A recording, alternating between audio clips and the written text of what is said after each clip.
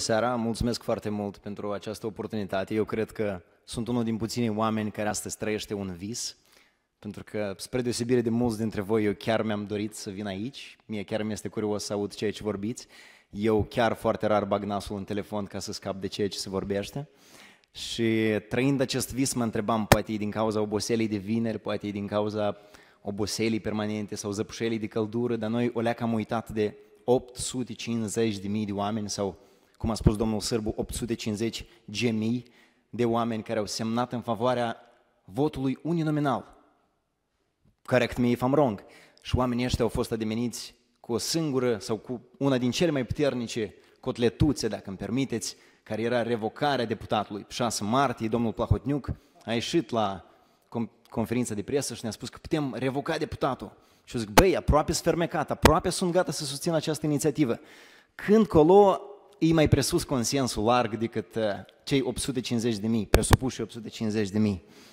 Uh, vreau să mi-amintesc, nu știu, din Natalia Gordiencu a spus domnul Candu că nu putem să vorbim despre oamenii care nu sunt aici, dar anume domnul Plahotniuc, anume doamna Natalia Gordiencu sau Zinaida Julia, pe mine m-a făcut să cred că pot să am încredere în schimbarea sistemului electoral.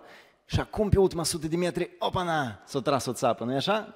Putem zâmbi la această temă. Și vreau să aduc o mică precizare, s-a pomenit despre un interviu a domnului Candu, sau cel puțin despre un citat a domnului Candu din interviul uh, de la Lorena Bogza de vinerea trecută. Dumnealui a spus că nu există un consens larg pe un, niciun subiect major din societatea moldovenească. Eu cred că există un consens și noi trebuie să-l recunoaștem. Primăvara trecută, primăvara anului 2016, la marșul în susținerea drepturilor homosexualilor, la marșul fără frică nu a fost niciun reprezentant a puterilor așa zise, pro-europene. Și eu zic, oh, ia că băieții chiar cred în valori europene, dacă ei nu susțin drepturile omului. Sper să... Eu nu v-am întrebat nimic, domnule Gureu. La revedere. Uh, și pe final vreau să, vreau să mă folosesc de ocazie, pentru că sunteți oameni simpatici, uh, cu coafuri pregătite, ați făcut un efort să veniți aici. Vreau să vă invit pe 18 iulie la spectacolul meu de stand-up. Știu că mulți au vrut să vină pe 17, dar biletele sunt vândute, din păcate. Mulți au vrut să vină la filarmonică, dar s-au dat telefoane și s-a interzis spectacolul. Nu știu ce să-i faci, încurc eu la unii oameni.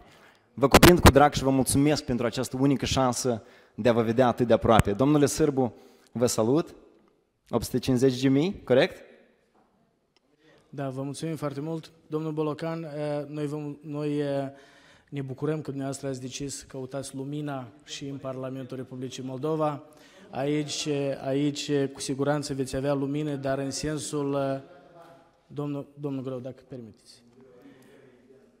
Ne respectăm toți.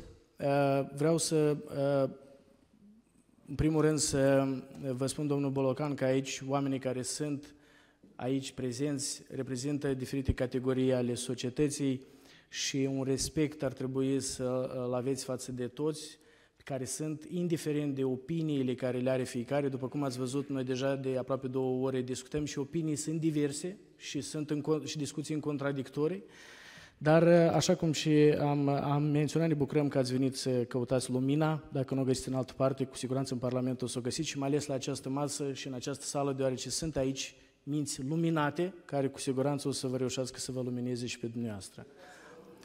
Vă mulțumim foarte mult. În continuare, domnul Andrievski și ulterior domnul Chircă.